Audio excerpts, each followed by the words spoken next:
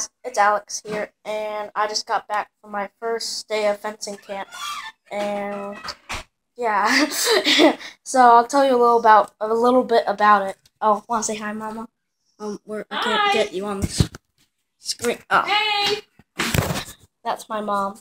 So today we did different drills, and my um instructor phrased it as uh the li- life after parry, and most of you probably don't know what a parry is in fencing, but it's when someone attacks you, then you block that hit with your blade. Oh, you can't see me. Good enough. and then, so that's what, what we basically did. Worked on parries and different stuff like that. So, also, my older sister has strep, and she's on the couch. She's asleep, so I'm gonna be quiet.